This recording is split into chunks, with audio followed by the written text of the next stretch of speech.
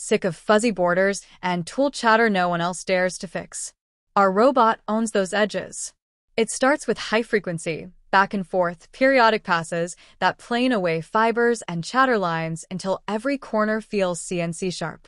Then we switch on our newest upgrade, a center-mounted orbital head that glides over the panel, equalizes the scratch pattern, and even packs finish into those micropits that hide in cabinets. We've taken finishing to the next level by adding a self-balancing orbital head right in the center of the cell. That orbital sander floats across the broad panel, packing out tiny pits and laying down an ultra-even scratch pattern. Adaptive force control keeps its pad hugging the surface at the sweet spot pressure, so it levels without ever burning through. Next come the border passes, rapid, back-and-forth strokes that chase every edge and profile, cutting fuzzy fibers and sharpening corners to CNC precision. Finally, a wide radius circular pass sweeps over the entire face, erasing any orbital halos and blending the border work into one perfectly uniform sheen.